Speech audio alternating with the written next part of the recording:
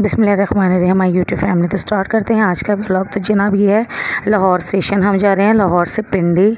अपने ताया जी के घर। ट्रेन बिल्कुल रवा रवा थी, तैयार हो गई थी जाने के लिए।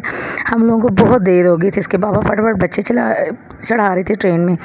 तो जनाब ये मैं और उसके बाबा हैं तो ये हम पिंडी पहुँच गए थे तकरीबन पाँच बजे। तो पिंडी से हमारा सफ़र स्टार्ट होता है टैक्सला के लिए।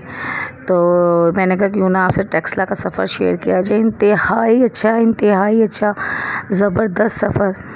रहा हम लोगों ने वैगन में किया ना लोकल बस में।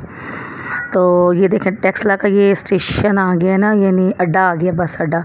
यहाँ से हम लोगों ने ऑटो लिया तो फिर हम लोग चले गए थे ताया जी के घर।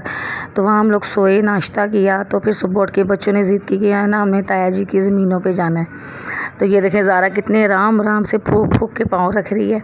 ये अब्दुल हादी और फातमा बहुत दूर निकल गए थे। अच्छा टेक्सला के पत्थरों की ये पहचान है कि वहाँ पर यही पत्थर होते हैं। तो जनाब, ये जहाँ तक आपकी नज़र जा रही है ना, ये सब हमारे माशाल्लाह ताया जी की ज़मीनें हैं। अब्दुल हादी तो बैठ गया था फ़सलों पे, सब्ज़ी ख़राब कर रहा था, बैठा हुआ। तो जनाब, अगर आपको मेरी ये वीडियो पसंद आई हो, आपने मुझे लाइक सब्सक्राइब और शेयर ज़रूर करना है। तो ये देखें, माशाल्लाह हमारे ताया जी की बहुत ज़मीन है और जहरा, फ़ातमा, अब्दुल हादी ने बहुत इंजॉय की